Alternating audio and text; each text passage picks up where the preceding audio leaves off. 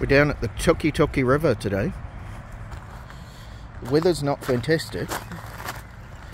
The river is extremely swollen. We're going to be a little bit careful beside the river. Just Dad and Angus today. Millie's not so keen when it's raining.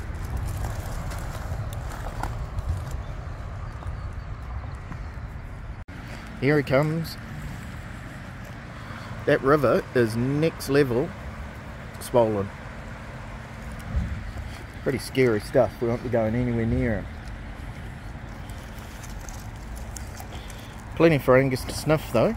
He's having a great time. Just a very quick bath to get all the mud from the river off him.